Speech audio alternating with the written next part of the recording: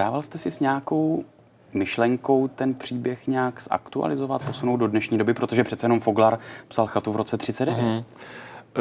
Uh, ne, já jsem chtěl, já jsem chtěl jakoby upozadnit sebe hodně, svůj styl, i jestli teda nějaký mám, to vůbec nevím. Chtěl jsem, aby to opravdu vypadalo tak, jako, jako kdyby to napsal Foglar. To znamená uh, sloh napodobit, i témata, vlastně, který jsem používal, jako, tak jsem se snažil, aby to byly témata, který by mohl použít i ten Foglar. Neměl jsem ambice tam do, těch, do toho jeho světa vnášet úplně nové věci s jedinou výjimkou, což je takový ten ekologický rozměr, který jsem tam dal, ale který si myslím, že by Foglar, kdyby žil dnes, klidně použil taky. Čili váš cíl byl opravdu snažit se vcítit do Jaroslava Foglara, do toho jeho stylu vyprávění, protože ono se to čte, kdyby mi někdo hmm. asi řekl, to je Foglarovka, tak bych to asi nerozeznal, přiznám děkuju, se. No. Ten, ten jazyk, prostě výrazivo, i různé ty formulace, prostě jste se snažil evidentně. Mm-hmm, no, tak jsem to chtěl, jako je to prostě pokračování Foglarovky, nemá to být knížka, knížka od Šlika, má to být knížka od Foglara. Zaujala mě jedna citace, kterou jsem si, kterou jsem si vypsal. Přestože byl Ludva zklamaný, že na své otázky nedostal odpovědi, uvědomoval si, jak moudře se Pavel zachoval.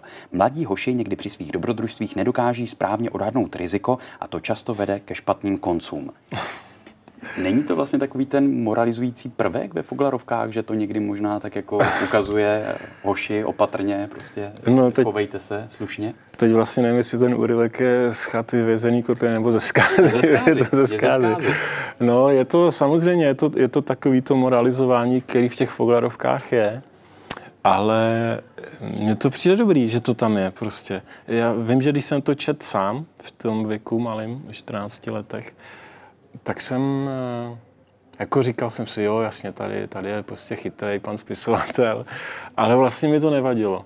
Vlastně jsem si, jsou to takové věci, které prostě mm, se nad tím my jako dospělí můžeme můžem trošku ušklíbat, že někdo napíše, uh, tenhle kluk je hodnej, protože pomáhá slabšímu a mluví pravdu.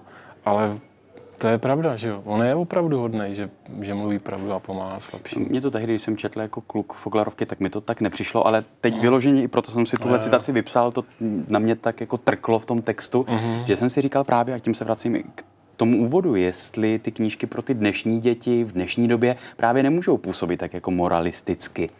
Aha. No já, i když, i když píšu teda své knížky, tak se musím přiznat, že tam prostě nějaký jakoby nechci říct moralizování, ale, ale nějak, nějaký jakože, jakože pravdy e, tam mám taky. Já, že já si myslím, že když už teda mám možnost k těm dětem mluvit, teď bych se teda rád spouštěl do nějakého delšího proslovu. Zkrátka, e, když už mám tu možnost, tak to chci využít a, a ne, ne, ne, ne, necpu tam těm dětem nějaký absurdní věci. Cpu jim tam jednoduché věci. Mluvte pravdu, nekraťte. Prostě takovéhle základní věci, to mi přijde fér, to tam těm dětem dát. Cvičte, starejte se o Cvičte. tělo i o ducha, Jasně to, taky hodně ve to teď vidím sám na sobě, já jsem necvičil u otevřeného okna a opravdu teďka toho lituju. Myslím si, že bych byl v lepší kondici, kdybych plnil modrý život. Vy i Neplnil jste nikdy? No, plnil jsem asi týden. Bobříky jsem se taky snažil uh, plnit víceméně jsem já si splnil, ale to cvičení třeba to jsem teda opravdu zanedbával.